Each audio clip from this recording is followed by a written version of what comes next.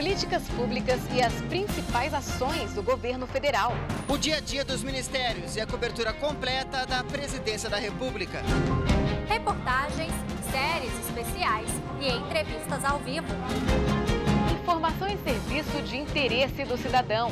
NBR Notícias, de segunda a sexta, sete e meia da noite, A TV do Governo Federal.